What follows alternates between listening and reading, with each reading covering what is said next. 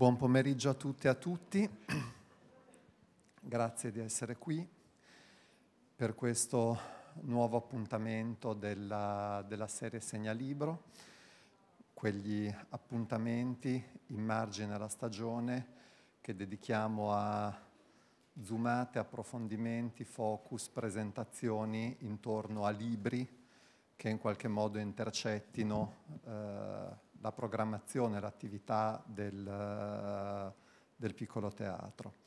È il caso per l'appunto uh, del libro di cui uh, parliamo oggi, un romanzo, Incanto, di Antonio Latella. non importa certo che vi racconti chi è Antonio Latella e il significato che Antonio e il percorso artistico di Antonio hanno per, per il piccolo teatro di Milano.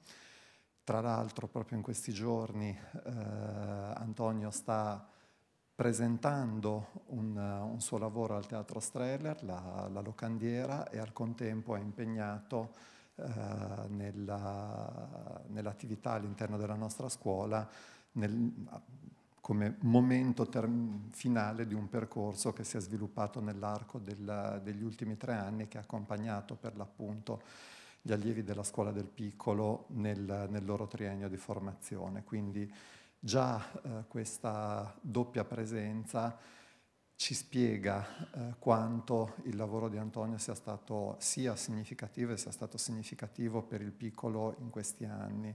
Ricordo anche che all'interno di questa stessa stagione Antonio era già stato presente eh, sulla fine del, del, 2024 con l'esito, una, con, con l'esito, con una tappa di un ulteriore percorso pedagogico di approfondimento, la bottega amletica testoriana connessa alla, alle celebrazioni del, del, centenario testoriano. Tutto questo semplicemente per dare un quadro di riferimento a un libro che invece è il vero protagonista eh, dell'appuntamento di oggi, che è assolutamente autonomo da, da tutto quello di cui ho parlato, un romanzo per il quale è una categoria che mi sono trovato spesso ad usare eh, quando mi sono trovato a introdurre appuntamenti di segnalibro.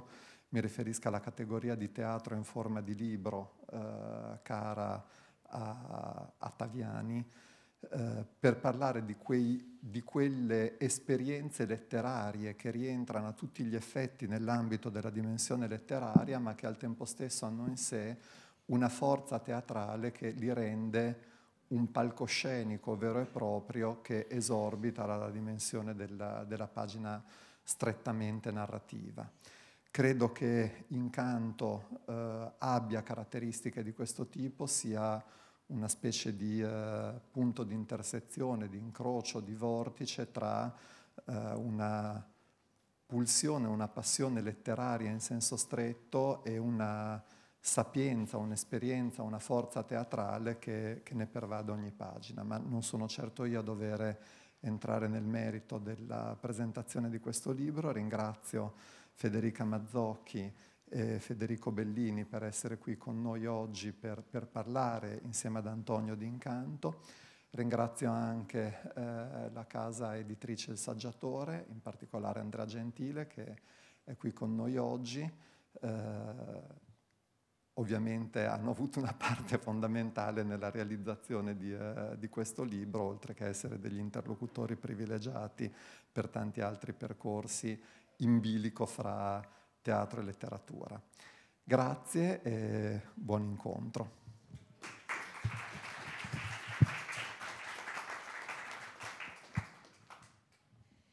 Benvenute e benvenute a tutte e a tutti. Eh, sono molto contenta, finalmente ce l'abbiamo fatta perché eh, la, do, dovevamo già fare questo incontro, ma eh, io poi ho preso il Covid, quindi sono rimasta così eh, eh, tagliata fuori da una eh, occasione di, di, conversazione con Antonio e Federico che appunto aspettavo da molto tempo. Sono molto d'accordo con, uh, con, il direttore Claudio Longhi quando parla appunto del teatro in forma di libro, citando il bellissimo Uomini di scena, Uomini di libro appunto. E uh, secondo me il libro di uh, Antonio è anche la, come dire, la, la dimostrazione evidente di quel principio che, a cui in molti siamo affezionati, cioè che il libro non deve essere uno specchio, ma deve essere una porta, una porta per l'oltre, per um, qualcosa dove non ti aspetti di arrivare e di essere. Il suo romanzo è come um, l'unico aggettivo, secondo me, che riesce in qualche maniera a forse dire qualcosa di lui è oceanico, perché è una narrazione molto complessa, molto vasta, molto appunto eh, avvolgente. E l'altro, eh, ci sono tutta una serie di aggettivi, poi magari ne parliamo, che mi hanno... Eh, no, no, brutto no, eh, ossessivo. È un romanzo stranissimo perché è un romanzo che non impedisce delle reazioni neutre. Uh, io mi ricordo che con Incanto ho avuto dei processi di innamoramento, di arrabbiatura furibonda, della serie basta, smettila, metti un punto, questo capitolo potrebbe anche finire qua, invece andava avanti. Eh. Uh, il, in certe pagine avevo la sensazione di fare una scalata. Dicevo, va bene, ho ancora 17 pagine di muro o di, o di scalata da fare della, uh, de, della, scena tal dei tali del romanzo. Questo perché? Eh, perché um, è appunto uno, um, una scrittura, una narrazione che ti eh, implica moltissimo, per questo anche sono molto d'accordo con Claudio, che è teatro, perché ti, attraverso il, il, ritmo, è molto musicale, ma non nel senso della dolcezza, ma è attraverso la ponteggiatura e la grafica, grazie anche alle intuizioni di saggiatore, ha delle forme ritmiche che manipolano molto il corpo del lettore quindi tu sei in una relazione eh, cinetica con, il, con, la pagina. Io ogni tanto mi dovevo alzare in piedi, leggevo incanto in piedi, perché ehm, genera delle forme di parossismo, di ossessività, di stanchezza terribile, di entusiasmo, proprio perché c'è un lavoro sulla parola. Questa è una storia d'amore, è una storia d'amore...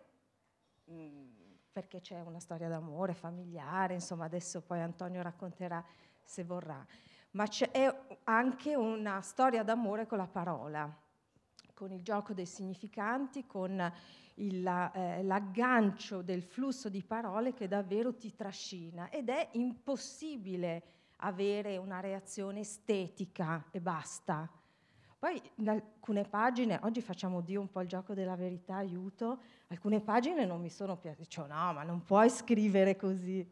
E invece, ehm, perché non è più, non siamo più dentro un'esperienza estetica, di giudizio, io poi non sono una storica della letteratura, quindi non, eh, non, non mi spingo su queste... Eh, territori, ma è, um, è un'esperienza molto più implicante, più uh, uh, emotiva, più fisica, più corporea. E questo mi ha colpito molto perché non sono molte le uh, occasioni perché questo accada.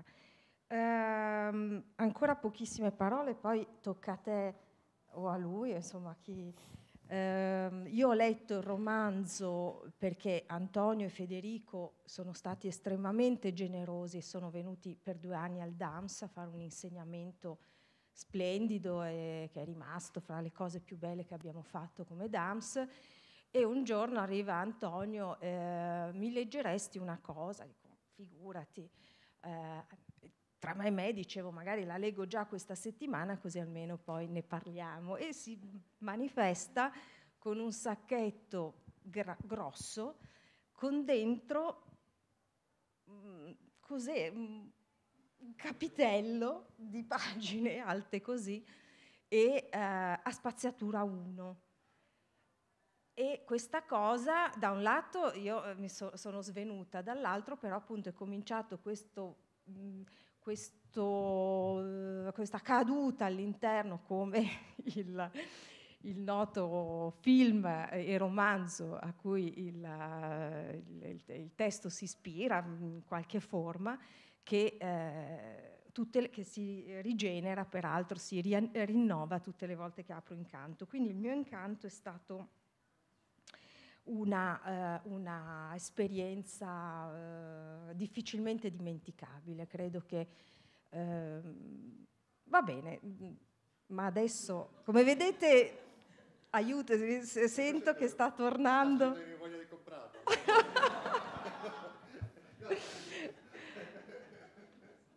Insomma, è un oggetto un po' stregato, eh, c'è qualcosa di stregato qua, giustamente si chiama così perché appunto adesso io infatti cedo volentieri la parola, allontaniamo questo, questo, questo...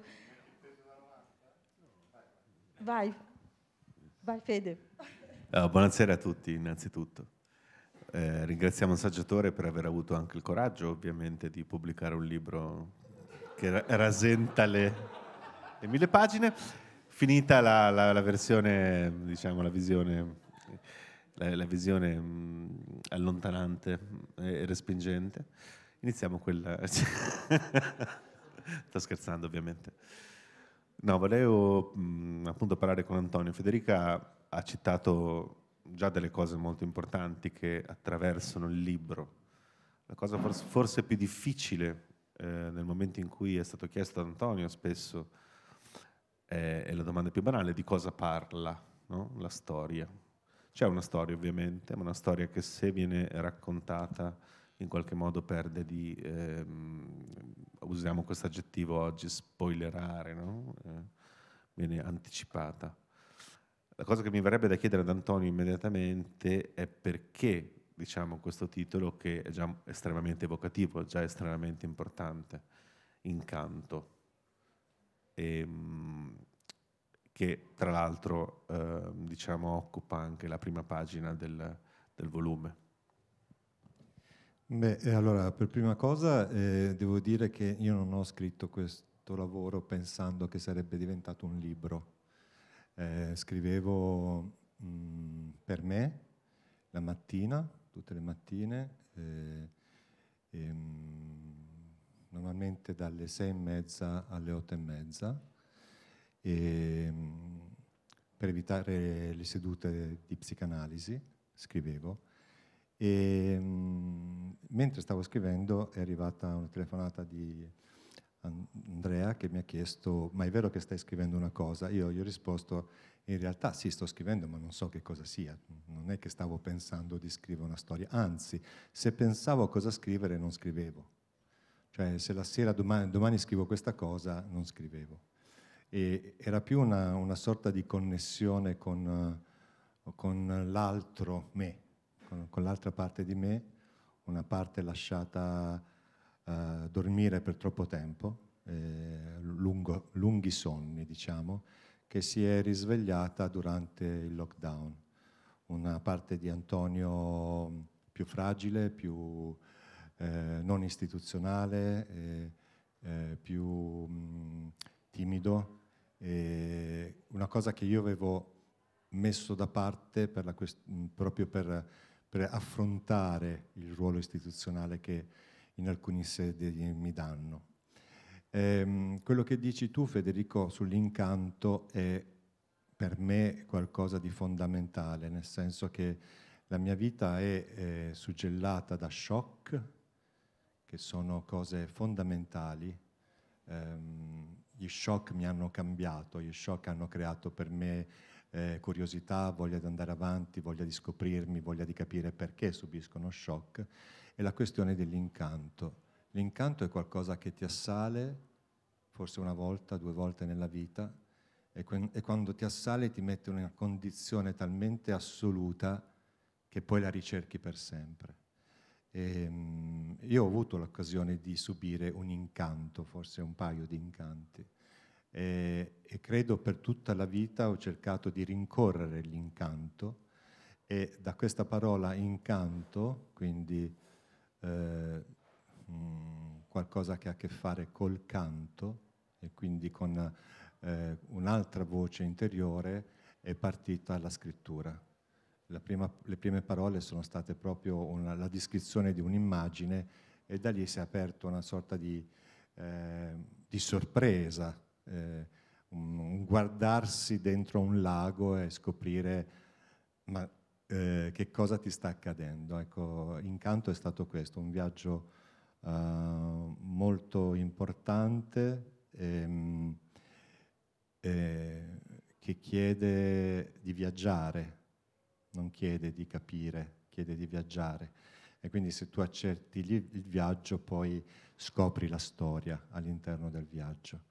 Eh, e come tutti i viaggi ha dei momenti esaltanti, dei momenti faticosi, dei momenti pericolosi, dei momenti respingenti. Eh, tutto questo io ne sono totalmente consapevole, la stessa casa editrice è consapevole di questo viaggio che viene chiesto al lettore.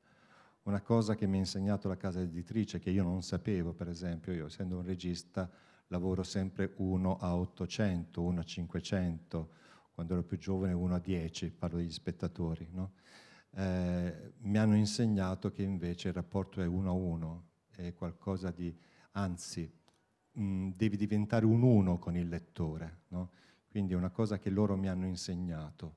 Questo non vuol dire agevolare per forza, ma averne almeno la consapevolezza, che tu prendi una persona che ha deciso di leggerti e di viaggiare con te, quindi eh, devi avere ehm, la dolcezza e allo stesso tempo la violenza di accompagnare in un viaggio.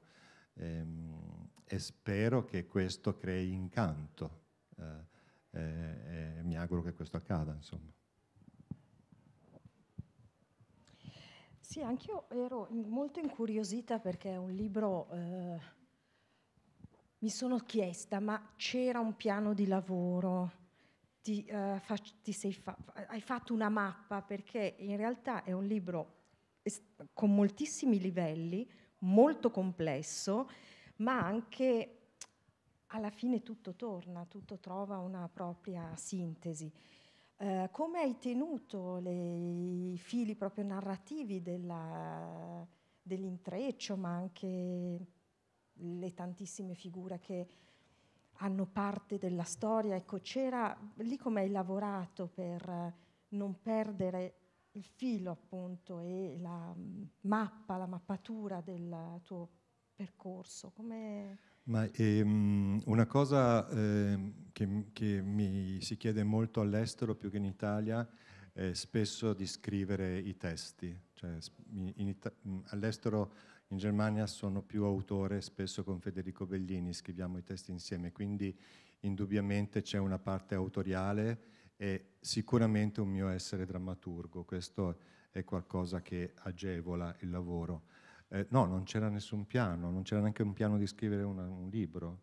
Cioè, eh, c'è stato qualcosa che eh, oggi, se ci penso, eh, ehm, è come se si fosse collegata a qualcosa. Io quando ero piccolo scrivevo molte storie, è come se si fosse aperta quella porta lì, che era stata, tu hai parlato di porta prima, una porta dimenticata. Mm, è tutto arrivato da solo. Eh, ehm, anche le connessioni, anche i rimandi.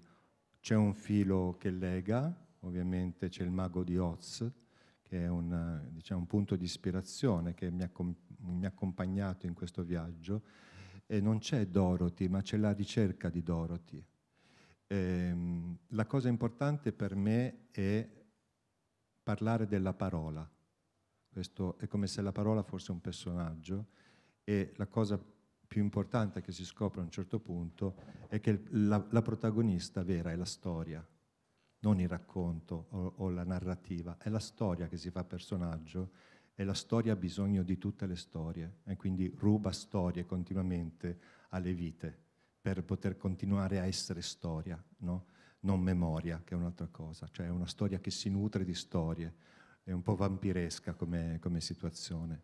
E, ehm, il personaggio della storia per me è, è, qualcosa che mi accompagna da sempre, mi accompagna come, in questo caso uso la parola scrittore pur non essendolo, eh, mi verrebbe da usare la parola drammaturgo, e, ma anche come regista.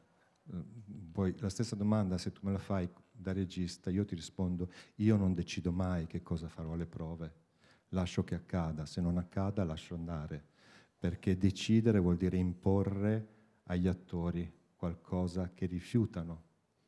E l'accadimento è la comunione, no?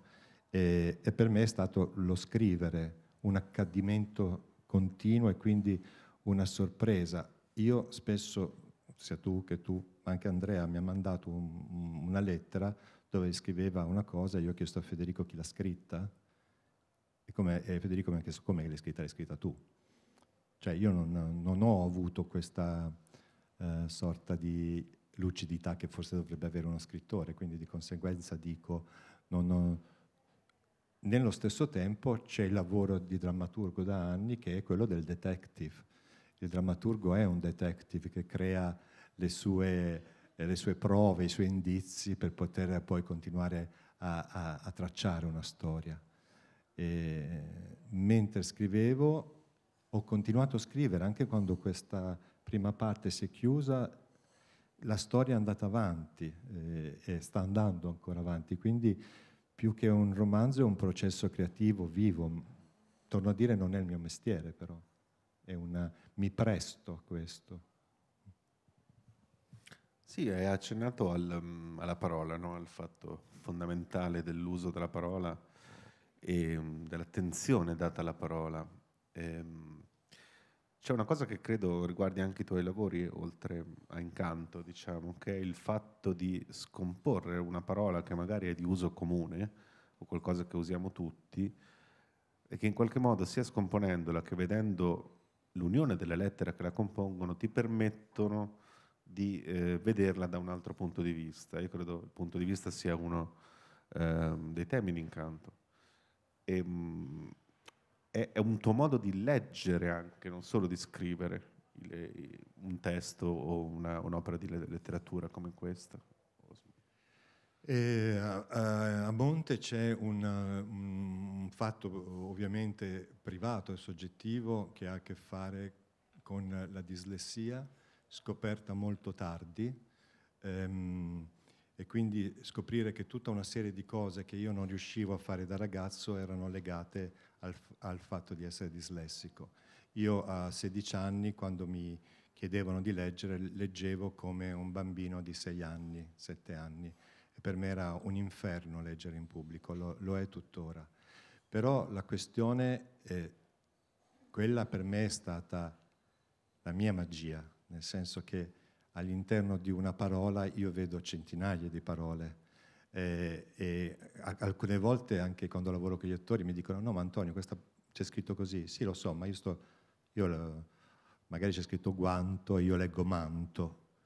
E per me quel guanto diventa il manto e di conseguenza si apre una porta che non è logica.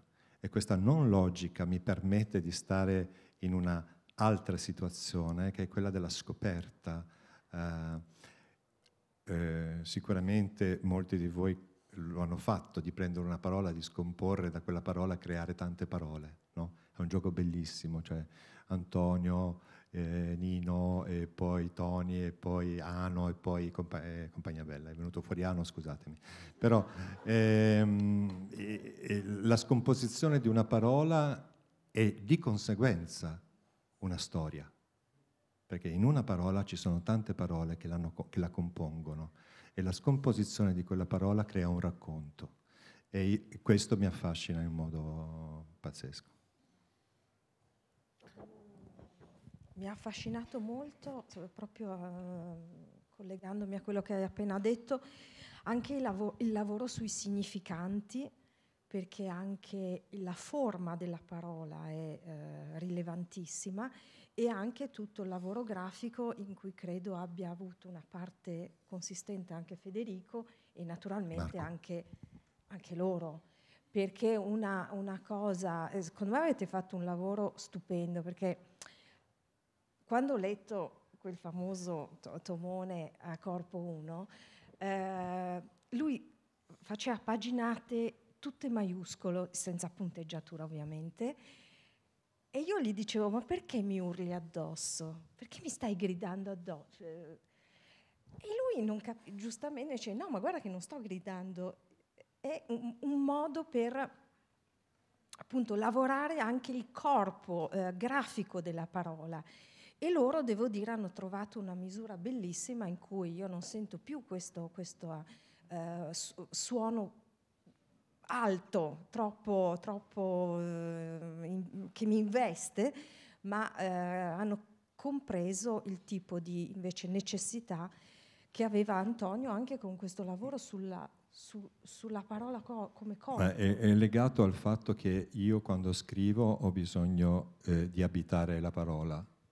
E anche quando scriviamo i testi di teatro, io spesso eh, eh scrivo tutto in maiuscolo, poi lui eh, corregge tutto con grande pazienza, eh, perché ho bisogno di abitarla, la parola, di vederla. Poi ho scoperto, io non lo sapevo, che scrivere in maiuscolo vuol dire urlare, questa cosa io non, non, non, non la sapevo. Eh, per mia ignoranza. Eh, però la, spesso scrivo in stampatello, per esempio, maiuscolo, perché quando scrivo in corsivo poi non riesco a leggere ciò che ho scritto. E non riesco proprio, spesso scrivo a mano io, quindi quando scrivo in corsivo quello che ho scritto non riesco a leggere, non, non so che cosa ho scritto. E quindi per avere un ordine ho bisogno di scrivere in stampatello. Eh, questa cosa è stata molto discussa con Marco e con Federico e abbiamo capito che eh, quando eh, ci sono delle cose legate all'emotività e quindi al cuore, che è l'organo fondamentale di incanto, il muscolo cuore, la parola cuore, alcune cose vengono scritte in eh, maiuscolo proprio per, per permettere di fare un viaggio emotivo al lettore. E altre cose vengono scritte in eretto. Ehm, eh, perché diventano, mh, anche in quel caso, diventano emotive.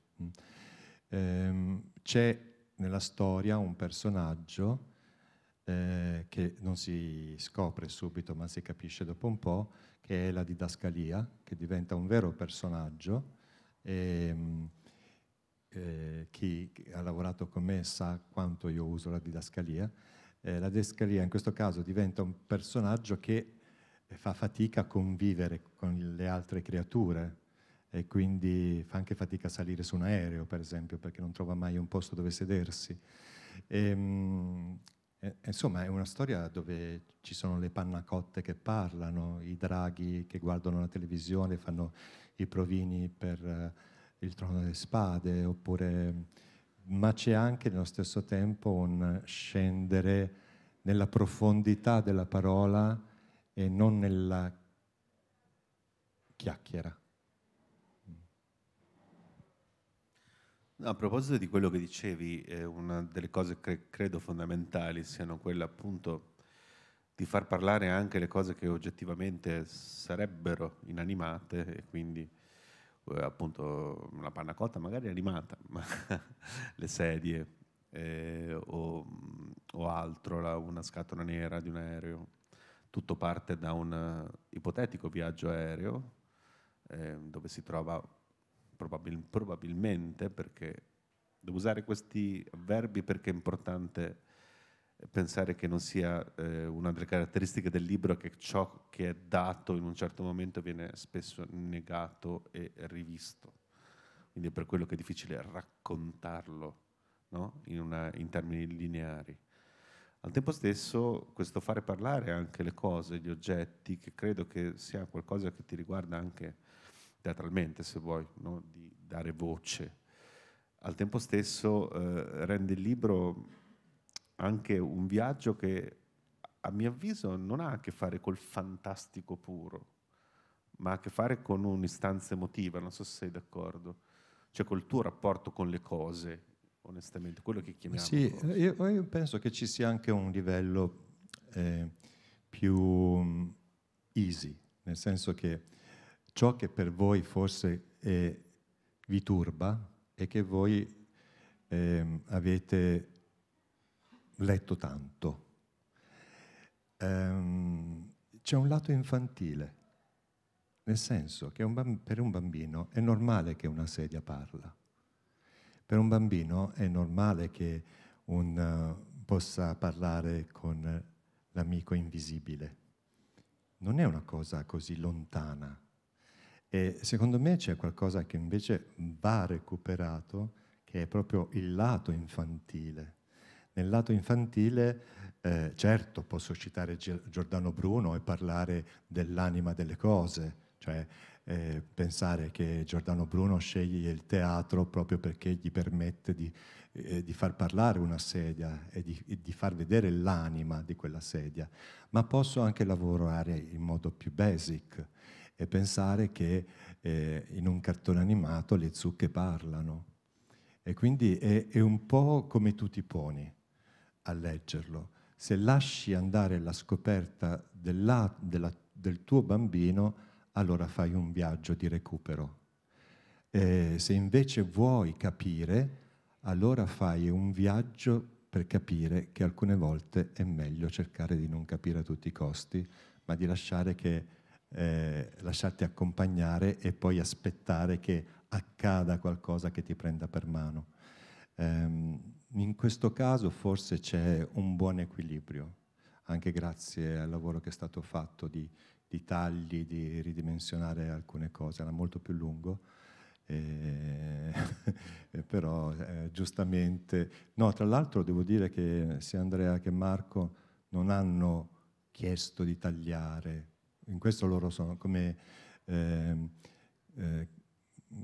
sono stati straordinari cioè nel senso non è che trovi tutti i giorni una casa editrice che dice no Antonio non tagliare questo è importante è importante fare attraversare questa montagna per poi capire. No? E questa cosa è stata mm, mm, all'età, poi stiamo parlando con un uomo di 56 anni, non è che sono un ragazzino, quindi essere accompagnato in questa cosa in questo modo è stato veramente importante. Poi naturalmente se qualcuno ha curiosità, cose, fateci un segno che vi diamo la parola. Ah, grazie, che gentile. E questa cosa che dici della, eh, della dimensione ludica infantile è, è molto, è, è, una delle cose più, eh, come dire, travolgenti del, del romanzo. Io vi invito solo a un certo punto, vi dico la pagina, non lo leggo io perché lo rovinerei, sarebbe un disastro, ma la parte della scimmia è una delle mie preferite, i sedili che parlano pure, ehm, la didascalia anche lei è stupenda, insomma ci sono delle, eh, veramente delle... Mh, mm, eh, dinamiche liberatorie estremamente gioiose e, e mm, quasi eh, sì, scatenate, c'è un processo di scatenamento che ti, che ti travolge. Eh, a volte ho avuto come l'impressione, anzi volevo chiederti due cose. La prima è questa questione di farsi canale, no? se ho capito bene, e uh, come si determina questa possibilità, perché è una uh, delle cose credo più complesse e che caratterizza anche la um, personalità artistica. Poi prima invece, scusa, salto a tutt'altra cosa, come tu dici che io salto sempre, uh, associo così. Um, dicevi non è un libro sulla memoria, c'entra la storia, non c'entra la memoria. Invece io l'ho sentito un libro sul tempo per me. Il mio incanto è stato anche il tempo, che è un tempo estremo, no? come tu ci hai abituato a una temporalità spettatoriale estrema, che è quella che poi amiamo, almeno per me, andiamo eh, a vedere le tue cose, eh, le maratone, anche proprio perché c'è un salto in una temporalità che è totalmente altra. E anche qui ho sentito un rapporto col tempo, con la memoria che era veramente cruciale. Il tuo lettore è un lettore estremo ehm, in questa specie di appunto, trappola di parole che tu fai per... Beh, non so Federica, perché per me il tempo è una convenzione cioè una convenzione che ci siamo dati. Io, non, per me non esiste il tempo, a parte la finitudine del nostro corpo che prima o poi deve finire, ma ciò, ciò che sta all'interno non ha tempo. Cioè, ehm, eh, forse l'unico tempo in cui io credo sono le quattro stagioni, ma per il resto non c'è un tempo, cioè, è un'invenzione, è una convenzione, c'è un ritmo che noi codifichiamo e rendiamo misura, ma il tempo per me è proprio una meravigliosa condizione, cioè non esiste. Eh, per me il tempo non esiste. E non esiste né quando faccio le mie cose private, non esiste né quando lavoro, eh, non esiste quando, eh, quando mi regalo dei momenti intimi, importanti. Cioè, il non tempo è la cosa che più mi, mi, mi permette di scoprirmi e di crescere e di uscire da una convenzione sociale. Um, e mi piace tantissimo lavorare sul fatto che il tempo non esiste. Um, um, quindi sì, c'è un non tempo in questa storia che si ripete, è ciclica, no? eh, ma come lo è quasi tutto il mio lavoro. Uh, credo che sia fondamentale anche quando fai teatro alcune volte mettere lo spettatore davanti a una condizione, c'è il tempo teatrale ovviamente che lo spettatore vuole, ma c'è anche il tempo non teatrale che è bello metterlo in scena. Quello spaventa lo spettatore perché lo spettatore il tempo non teatrale lo riconosce e non lo vuole, lo annoia. Però è proprio nel tempo non teatrale che esiste la possibilità di un processo creativo e così anche nella scrittura per me. Um, questo ti permette di viaggiare continuamente nel tempo e quindi di essere viaggiatore come la nostra Una, la nostra Dorothy, la nostra R7 che ha tre nomi, eh, si chiama R7 perché ha un difetto di, della R e lei tutte le volte che pronuncia la R ha una R che dura 7 R. E quindi eh, io prima lo scrivevo con tutte le R, allora ho detto ma se la chiamiamo R7 potrebbe essere meglio, no? Facciamo prima. Detto questo, però eh, è un continuo viaggio nel non tempo, quindi è la possibilità di viaggiare nella storia. Nella storia che per alcuni di noi è memoria, per altri è ciò che continuiamo ad essere e, e quindi è il processo della creazione. L'altra domanda non me la ricordo.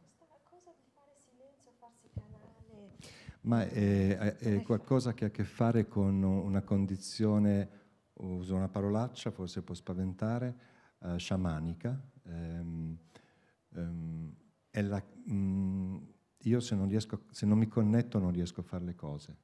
Quindi una sorta di connessione che um, una volta ho conosciuto una sciamana in Russia e, e, e, lì ho capito la connessione che ho io con il, mio lavoro. E, è qualcosa che più, eh, più direi sciamanico, cioè lasciare che questa finitudine che tu sei sia attraversata da qualcosa che tu non sai neanche di essere e lasciare che questo accada e allora questo permette um, la nascita continua del, di ciò che accade, come sta accadendo adesso.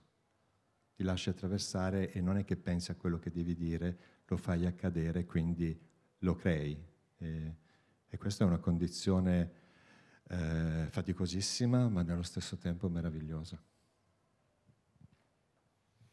Se a me viene da chiederti, il libro ha una struttura mm, particolare perché parte in qualche modo con dei personaggi, no?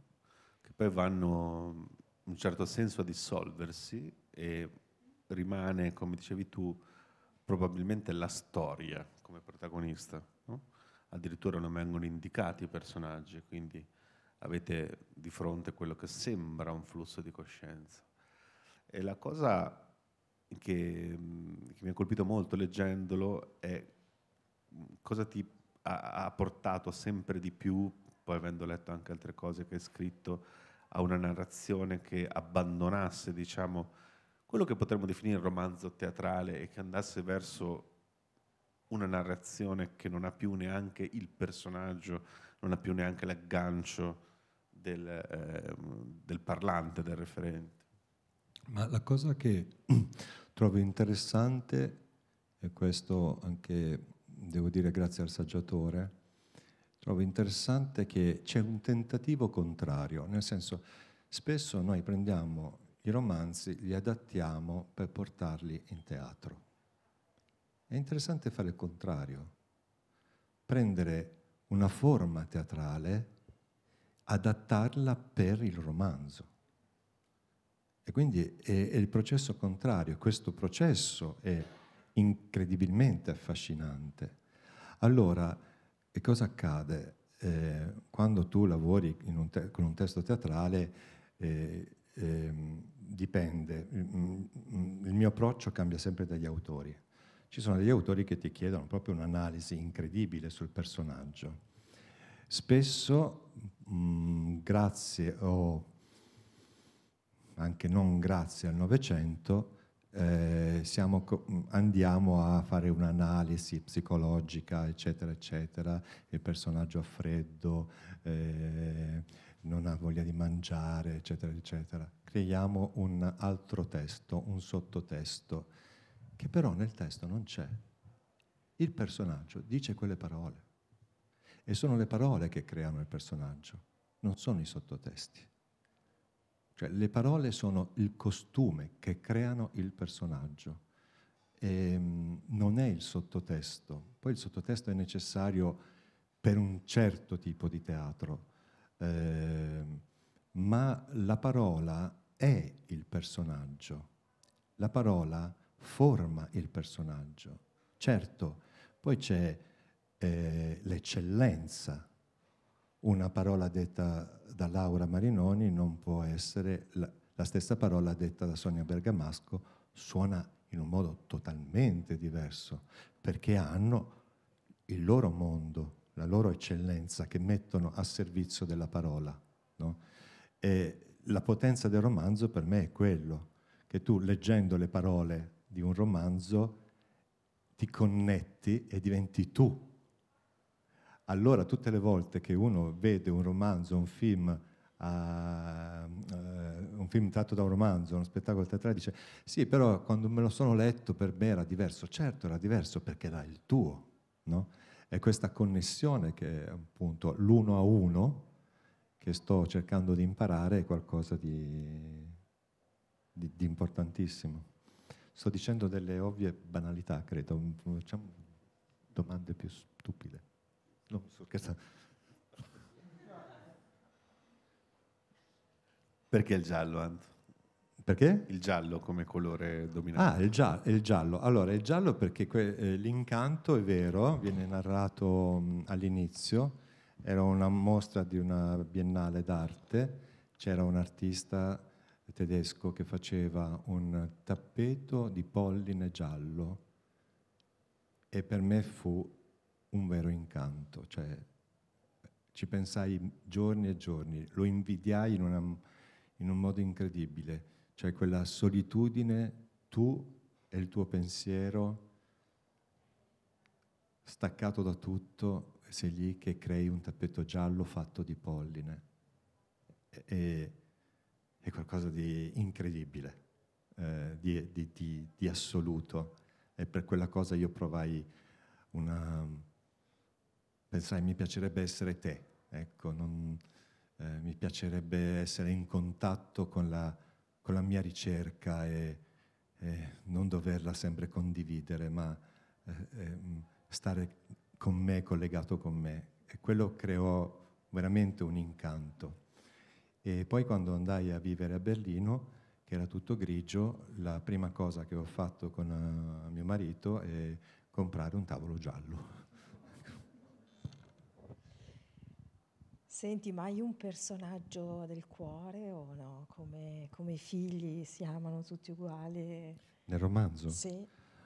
No, no, no, no, no non c'è un personaggio. No, no, non, mi piace, no, mi piace molto il detective, mi piace. No, no, non c'è, non c'è. Ho un'affezione per Tip. È un, un personaggio che ehm, è bimbo e bimba e questa cosa mi piace molto.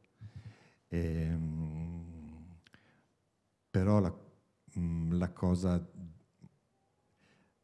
che oggi mi, mi, mi emoziona è proprio eh, la, la tensione di queste creature che vanno tutte ad incontrare un solo luogo. E credo che alla fine è proprio il luogo la cosa più importante.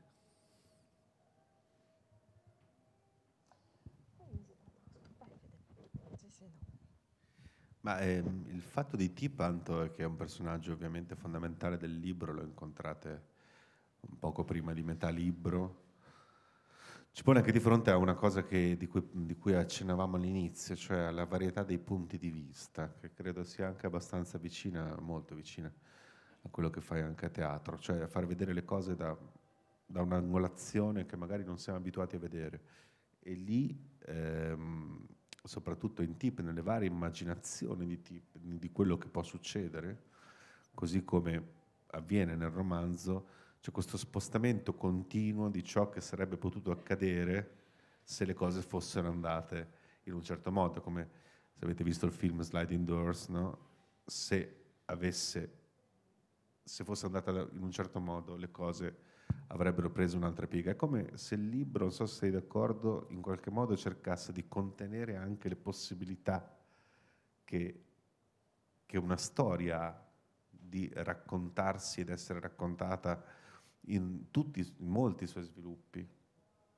Sì, però è anche questo infantile, perché secondo me la maggior parte del tempo quando sei adolescente ti dici se avessi fatto così, se avessi fatto questo, se avessi fatto questo.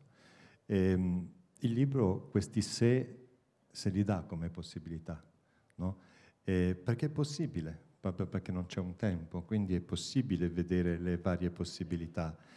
Io cito nel libro delle passioni, eh, cito Kill Bill, cito David Lynch, cito delle, mm, delle figure a me care e, e, e, queste figure care sono tutte figure che lavorano sul non tempo, quindi sulla, eh, sulla rottura del eh, riuscire a mantenere una storia nella, nell'assurdità. E, e proprio il tema dell'assurdo è qualcosa che a me mi appassiona da morire, perché ehm, è la vita che è assurda, è incredibilmente assurda la vita, quindi è per questo che è meravigliosa, cioè l'assurdità. No, tu, tu esci di casa e boh, non sai se torni, cioè eh, dai per scontato che torni, ma non è detto. E quindi è proprio questa la cosa del libro, cioè, e, e, e questo secondo me si sente, spero, almeno questo. Sì, anche l'assurdo, come dicevi, l'assurdo quotidiano, cioè non soltanto l'assurdo che nasce da magari prendere una pasticca e farla diventare la realtà assurda, cioè proprio l'assurdo che c'è nella vita, no? E l'assurdo è una condizione, è una condizione che tu decidi di mettere ordine o no. Però la, la, l'assurdo è, la, eh, è, meraviglioso, cioè è una condizione. Cioè, eh, sei qui perché è assurdo, è un caso. Certo, ti hanno voluto, ma eh, è un caso, è andata bene. Vedila come vuoi, se sei nichilista è andata male, però è andata bene. Quindi eh, l'assurdo è una meravigliosa condizione. Ci sono curiosi. Sì, Massimiliano.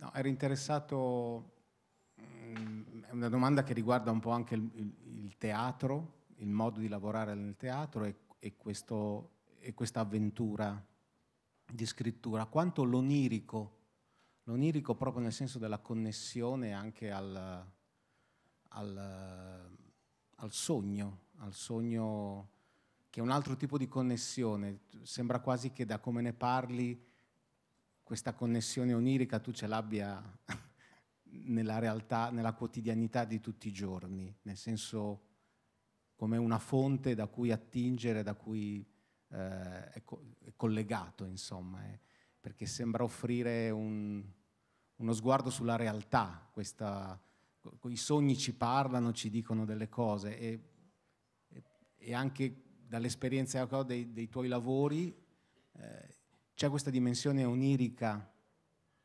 molto forte. Allora in questo senso non so se, non so se è chiara la domanda. Cioè... Beh, eh, per me i sogni sono una condizione, cioè proprio io se appena chiudo gli occhi e mi addormento sogno subito, è proprio mm, so, ci sono dei miei amici che dicono che non sognano mai, io sogno in continuazione, quindi eh, mi piace andare a dormire per sognare. Stamattina è stato un inferno, per esempio, mi sono svegliato alle 5, ero a Parigi e in aeroporto dovevo prendere un, un aereo e continuamente non trovavo il gate. E quindi, però il gate era, non era un aeroporto normale, era un parco giochi. Quindi io correvo da un gioco all'altro, ma non trovavo mai il 21, che era il numero che dovevo prendere. E quindi eh, avevo queste valigie, correvo e mi sono svegliato sfinito.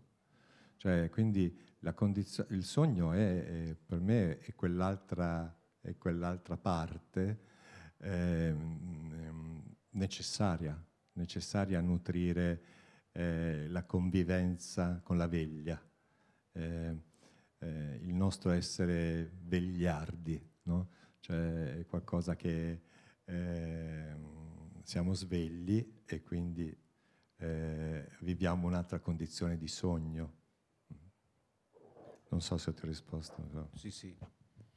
Volevo chiederti, eh, mi, la domanda di Massimiliano mi, mi, fa venire come associazione spontanea il, tutto il, il, grande tema musica, perché il romanzo, per come l'ho vissuto io, è eh, proprio intriso di, di, di sonorità, è mm, in forte rapporto col ritmo, con la spinta in avanti della, della ritmicità. Mi chiedevo se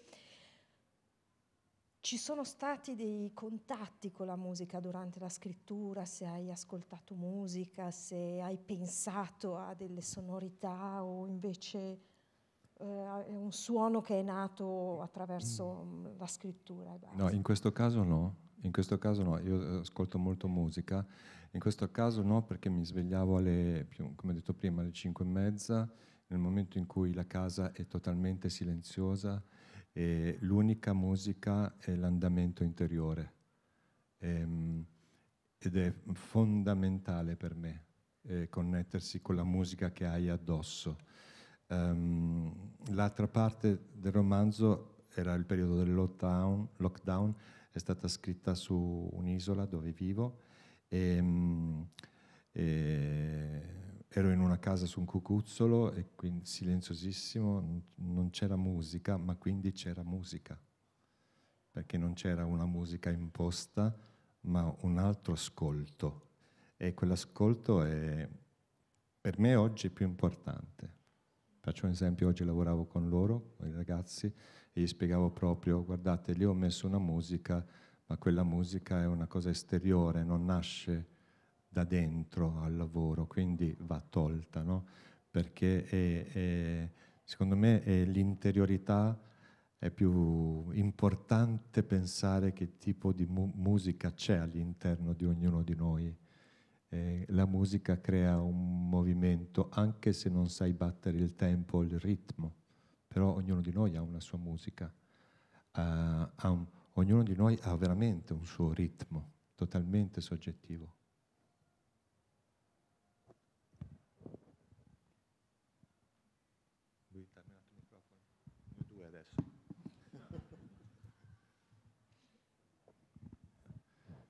Sì, c'è una domanda lì. Grazie. Anch'io vorrei tornare a farti una domanda sulla relazione tra scrittura e teatro, che poi da, già dalla presentazione di, di Claudio Longhi eh, è significante, è significativo. Perché sentendo soprattutto il processo di lavoro, cioè questa sorta di eh, filosofia del vuoto, eh, diciamo, ehm, attraverso la quale tu ti poni nei confronti di una scrittura che non è progettata, cioè non è non è pensata se non nell'atto, cioè almeno questo ho capito, mi fa venire in mente anche un processo molto teatrale, appunto, cioè il rapporto con l'improvvisazione. E quindi ti volevo chiedere se questo processo di scrittura ha qualche cosa, diciamo, di quello che potrebbe essere una componente eh, improvvisativa che si riflette anche rispetto alle tue pratiche teatrali. Beh, è un po' quello che dicevo prima, il fatto di non decidere prima cosa scrivere ha sicuramente qualcosa eh, che accade, è l'accadimento che ti frega tra l'altro, perché ti sposta in continuazione una logica. E, ehm, mh, poi, ironicamente, ma neanche tanto, quando io stavo scrivendo c'era l'allora ministro della cultura Franceschini che voleva fare una Netflix della cultura, no? una piattaforma della cultura teatrale in rete. E allora io pensai forse sarebbe bello rispondere con una serie teatrale dal vivo e, e quindi mh, mi stavo concentrando sul fatto di scrivere una lunghissima serie teatrale. E, ehm, e la cosa della serie è pazzesca perché scrivere una serie eh, spesso per le serie usano dei drammaturghi teatrali perché devono lavorare sul, sul tempo. No? E quindi devi pensare che tra 20 puntate accadrà quella cosa lì.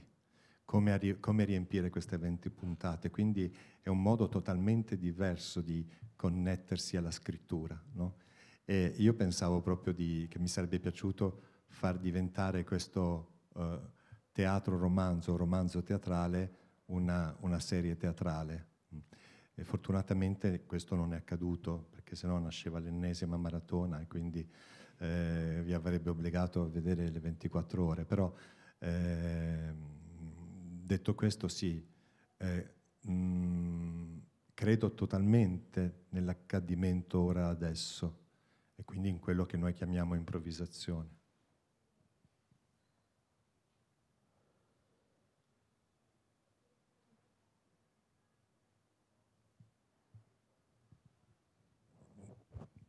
Sì. Grazie.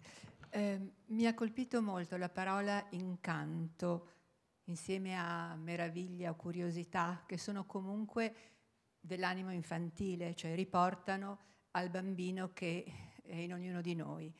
E ehm, anche il, il, l'argomento che ha trattato a un certo punto della dislessia, la dislessia che dà un problema, una difficoltà, è stata trasformata comunque in un punto di valore, in un valore aggiunto, in qualcosa che ha permesso di esplorare altre possibilità, altri mondi. E mi domandavo comunque se il libro fosse rivolto anche all'infanzia o eh, agli adolescenti, oppure no. Eh, sono onesto con lei, signora, io non pensavo che sarebbe, pubblica- sarebbe stata pubblicata questa cosa, quindi non ho immaginato a chi era rivolto.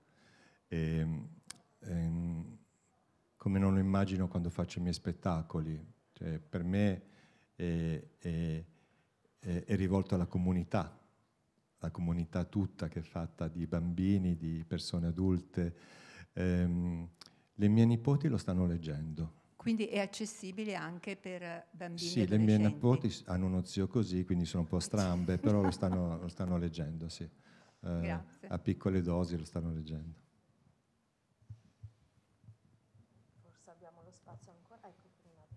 Ciao, ti volevo chiedere una cosa, mm, perché questo racconto di ricordi de- del bambino che c'è stato è un romanzo che viene descritto come una un romanzo in trasformazione in cui anche i personaggi a un certo punto smettono di esistere e la sua forma cambia e quindi io devo continuamente accettare una novità e rinunciare a qualcosa che avevo immaginato. Mi porta a chiederti se secondo te questo viaggio che tu metti sia su un piano formale ma soprattutto su un piano intimo, hai parlato della tua età, dell'essere bambino, è un tornare cioè tipo un viaggio verso ciò che noi già siamo, già siamo stati, quindi da adulti cercare di tornare al bambino che eravamo, cercare di ricostruire quello che eravamo e che abbiamo perso, oppure un viaggio in avanti, un viaggio in, in trasformazione, diventiamo qualcos'altro dentro questo incanto? No, io p- penso sempre al presente, né al passato né al futuro. Quindi per me è fondamentale il bambino che sono, non che ero. Eh, il bambino che ero è un, è un altro Antonio che guardo con tenerezza. Il bambino che sono oggi, l'uomo che sono oggi, il compagno che sono oggi, oggi, in questo momento, adesso. Eh, è chiaro che quello che sono mh, mm, è dato da quello che sono stato, no? però per me è molto molto importante l'ora e adesso, eh, proprio rispetto alla, alla, concezione del tempo. Nel senso, ora sono. Eh, e questo a me è la cosa che mi affascina di più, cioè ora sono è, è, è una condizione unica, è rara, è una grandissima possibilità che abbiamo. Eh, domani sarò non, non mi interessa, mm, proprio non mi interessa più, ecco. Forse quando ero ragazzo io da grande sarò, no? no domani sarò è una cosa che... Mm, ehm, io detesto le coniugazioni verbali, cioè proprio mm, a, proposito del tempo, infatti eh, non sono in grado di usare un congiuntivo, un condizionale, cioè non, le coniugazioni secondo me sono una, un piegare l'infinito che a me mi dà un po', mi dispiace un po'. Io sono. Mm. Forse è interessante dire noi siamo, ma forse è l'unica coniugazione che ha senso.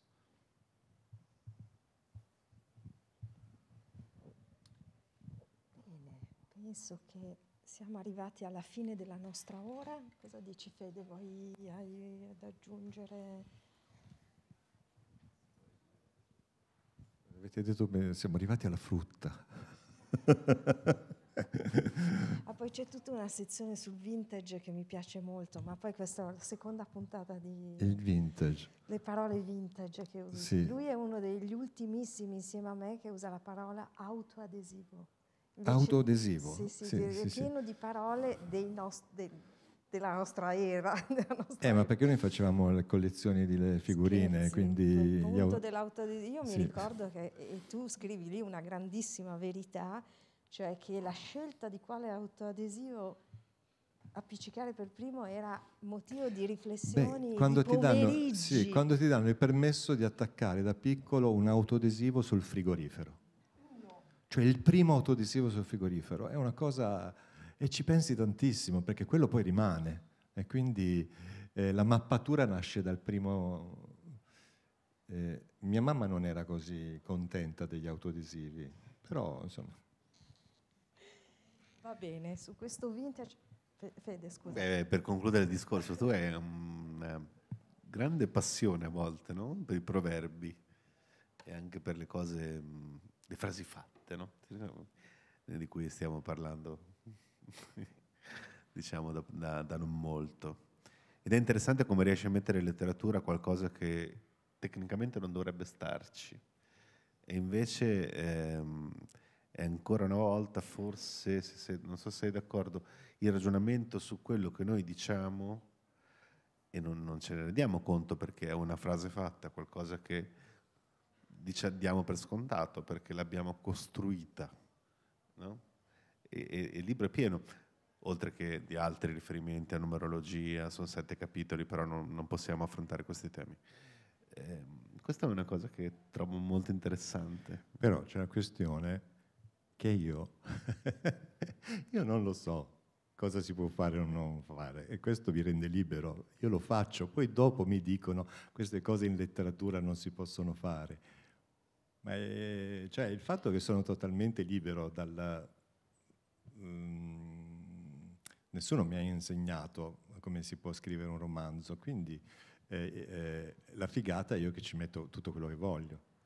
No, poi, poi, dopo mi dicono ma questa cosa in letteratura non si fa.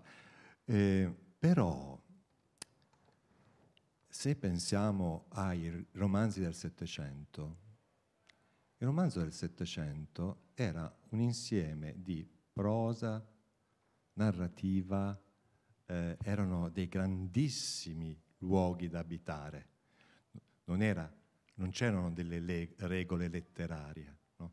poi piano piano sono state create, ma il romanzo del Settecento era qualcosa di sconvolgente, dove tu potevi totalmente perderti.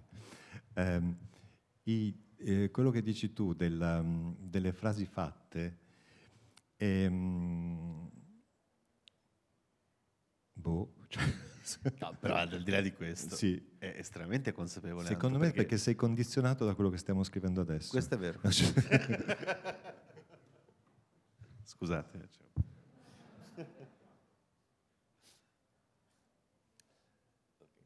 Grazie mille. Grazie a voi.